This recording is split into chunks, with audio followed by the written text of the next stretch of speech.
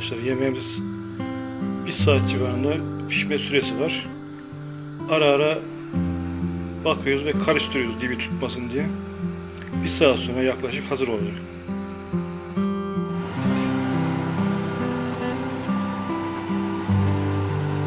Evet yemeğimiz pişmeye devam ediyor. Kokusu çok güzel geliyor yani çok lezzetli olacağı belli.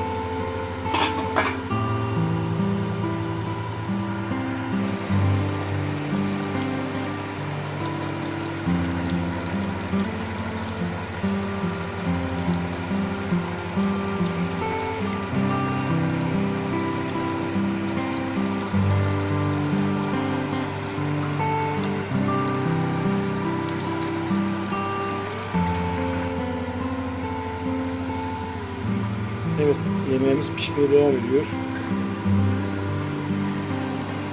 Nefis görünüyor, kokusu çok güzel. İnşallah lezzeti de çok güzel olacak.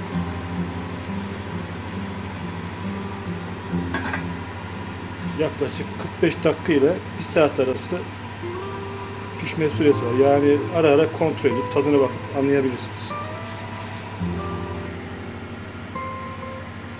Arkadaşlar pişmesine 15 dakika kalası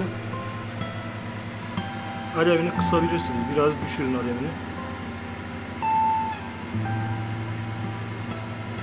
Böyle kısık ateşte pişerse daha da güzel birbirine özdeşleşiyor yani yiyecekler. Patlıcan, biber, domates özdeşleştiği için daha lezzetli oluyor.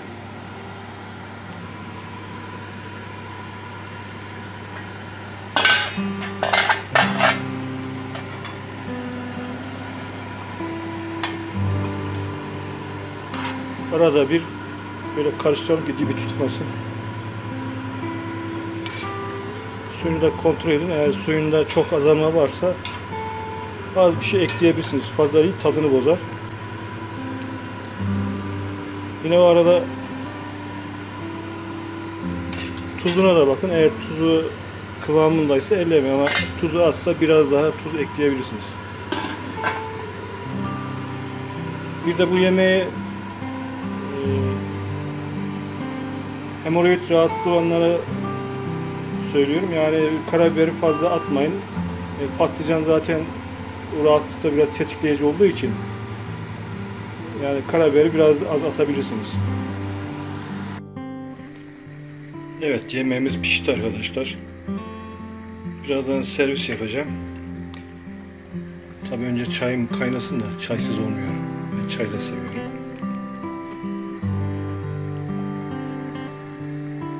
Çok güzel ya, çok lezzetli oluyor yani. Denemenizi tavsiye ederim.